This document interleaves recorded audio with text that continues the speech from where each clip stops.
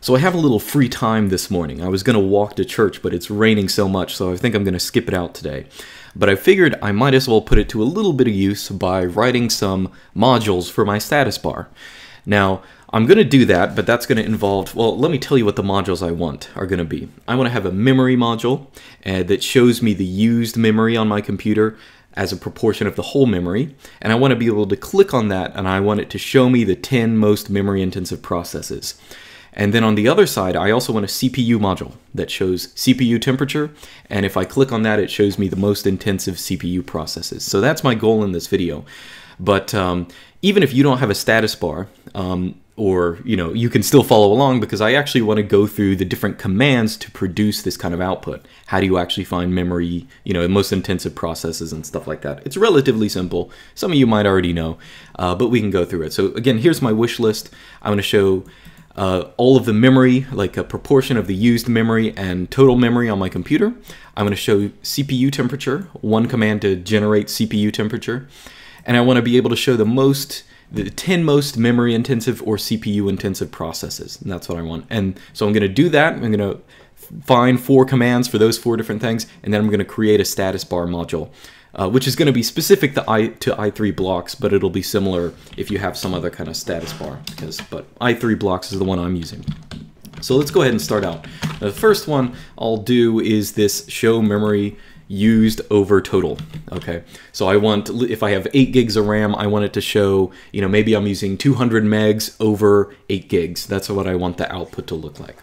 Now, in order to do that, it's rel this is actually uh, relatively simple. Um, you can really just use the free command. Now, if you run free, this will actually show you your memory used. Of course, you can see it's not in human readable format, but it's relatively easy to get it that way. We can just do free with the option of H. And you'll see that we pretty much already have what we want here. Uh, we have our total memory here and our used memory here. These these can be relevant as well, but I'm just going to take the use memory and total memory as well, um, and that's it. So in order to get this in the format we want, if we want it to be used slash total, we really just need an awk command to do this. So I'm going to pipe this output into awk. Now the first thing, I really only want this line, so I'm going to say to awk, only give me the line that starts with mem. That's all I want. But I what I want you to do with that is I want you to print it out in the following format. So this thing here is the third element. So I'm going to say first print out the third element, then give me a slash, and then give me the second element, which is going to be uh, this thing here, of course. Close that uh, print command, close that awk, and that produces the exact output we want. So whenever I run this command, it's going to show me used memory out of total memory. Of course, we can run it a couple times. It's not really changing that much because my memory amount is pretty much the same. But we can take this command, actually I'll, I'll copy this out, and I'm going to put it over here in our wish list because that's, we already have one of the commands we want. Okay, so I'm going to keep that, and I'll make my status bar with it later. Now, the next thing I want to do is I want to do CPU temperature. So how do I get CPU temperature? Now, this actually requires a program, well, you probably already have it. It's um, uh, LM Sensors, I think. Uh, if I just run that, yeah, so this is already installed on my computer. It's probably actually installed on your computer because it's pulled as a dependency for a lot of things, but LM Sensors gives you yet another very simple command, just sensors. Know, so if I run that, uh, oops, if I run that, you'll see that it, it gives me uh, basically whatever temperature module or temperature uh, monitors there are on your machine, it shows you what values they have. So you'll see right here, here is our, our basically our temperature that we're looking for. Um, it's 63 degrees Celsius. So we can get that out. We can awk this out in the same way. Now you can check the options of sensors if you want. Uh, I mean, if you really insist in your, you know, your CPU temperature being in Fahrenheit, for example, you can give the F option, but I, I, feel like even Americans refer to CPU temperature in, in, Celsius. That's just how it is. But anyway, so we can do the same thing with this we did with the last option. We can just pipe it in the awk. And we only want the line that says CPU, or temperature 1, or that starts with that. So we can go uh, temp 1, that's what we're looking for, and find that line and print out the second element, because, well, the, this is the first one, this is the second one. Nice and simple. Close that off, and there is our our degrees Celsius. That's all we need. One, again, one, another little simple command. I'm going to copy this out and I'm going to put it in here. So now we have our CPU temperature command. And the last two things are maybe a little more difficult. I, I don't want to say more difficult, but they involve slightly more complicated of a command, and that is show the most memory intensive processes and show the most CPU intensive processes. Um, now these are going to be similar commands as we'll see. Um, now the program we're going to use for this uh, is PS. So if you don't know what PS is, um, it's really just a, a, command that shows you the kind of processes you have and different information about them. And it can show how much memory one is using or how much CPU usage it has or something like that. Now, PS, I encourage you to look at the manual because there's a lot you can do with this command just because it has so many options. Now, I'm going to give PS a couple options. I was sort of racking my brain as for which ones I should best give to it before I turned this video on. But the ones I've decided on are A, X, and C. Now AX, let me just run PSAX. You'll usually see people running this, and this will, in effect, I mean, you can check the documentation on the A option and the X option yourself. It really has to do with, you know, what's a user process with the case of, of of a or not not really user pro well just read read the manual i don't it's not important what they do here um, but psax is going to basically print out what we think of as being processes you know so you have bash um, you have ST, you have different stuff going on here. You even have, um, well, I'll show that in a second. So you have the different process processes. I also want to give it the C option. And what C does is, well, maybe I should compare them. So if you don't give the C option, it's going to give some full paths to some things like user bin pulse audio. But if I just give C, it's just going to show pulse audio. So that's a little more intuitive. I want the user interface to be cleaner. I don't want all that junk. And I'm also going to give it the H option. I'm going to give it the H option, which will get rid of the header at the very top because we're going to be using, we're going to be messing around with this kind of stuff. Now the next thing I want to do, so my goal here, this prints out a bunch of information, but I, I want it specifically, let, let's do the memory first. We want it specifically to show us how much memory is used by a process. Now what we can do here, let me make this just a little bigger. Um, you can give it the O option or whatever, and then set some kind of specific output. So the output that I want is I'm going to say command and then percent mem. And this pretty much does exactly what you expect. It's going to list out the command and the percentage of memory used. So now we have all of these commands and we have them sorted by, or not sorted, but you have the memory percentage uh, or memory percent of each one of them. You can also give PS options like sort. So I can say specifically, I want you to sort this, and I want you to sort this by percentage of memory. So now we have all of these. You'll notice that the biggest ones are at the very bottom. FFmpeg is the most intensive process running. That, of course, is recording this video.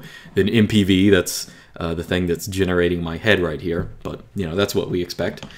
Um, but I actually, actually, now that I think about it, we really want minus memory because we want the most intensive process th processes to be at the top, right? So if, uh, well, maybe I should rerun that. So if I go up here to the very top, you'll see that that's where they are because this allows us to, let's say, uh, pipe it into to head or something like that. I know we talked about using sed 11q in the last video, but we'll just do something normal and use head.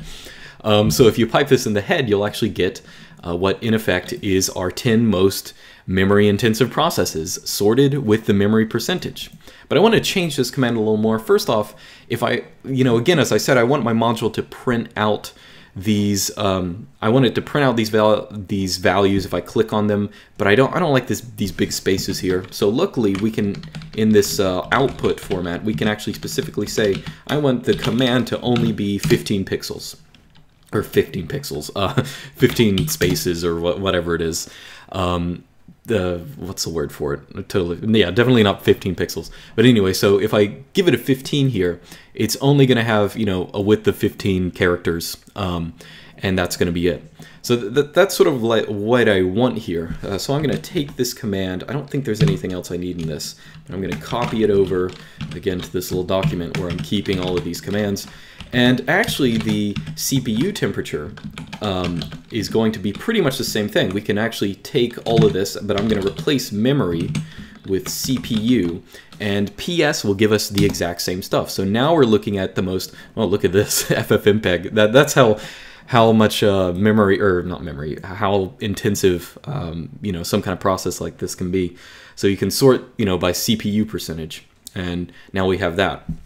Uh, so I'm going to take this command, copy it. I'm going to take it over here. So now we have all the commands we really want. Uh, oops, did not copy all of this. So now we have all of the commands that we want, and um, we can go ahead and start building our i3 blocks modules. Now let me close out of this. So we have all these. I'm going to make this normal. Now I'm going to pull up, so I have this other window in on my other workspace, and this is the general format of an i3 blocks module. Now this is, I'm going to start out, I think I've named this file i3mem, because this is going to be the memory module. Now by default, I want it to just print out the percentage of memory or the, the ratio of memory used. So I'm going to put in this command that says, uh, you know, that prints out the used memory over the total memory. Now I'm going to go to my i3 blocks config, which is in i3 blocks config, and I'm going to set, let's say, a new module for memory. That's what I'm going to name it. The command I'm going to run is this script here, which is i3mem. So i3mem. And it's already my path directory, so I don't have to worry about that. The interval Let's say I want it every 30 seconds, and it, you can also give it a label. That's going to be like a decorative, uh, you know, logo or something. I'm going to choose a brain because it's about memory. So I'm going to put this in, I'm going to save both of these documents, and I'm going to restart i3 blocks, and you'll see up here I, I now have a brain icon, and it has the used memory over the total memory, and that's pretty much exactly what I want. Now additionally, as I said, I want to be able to click on this um, and for it to show the um, what was I about to say the the most intensive processes. Now I actually already have this case statement uh, up here. I'm going to uncomment all this.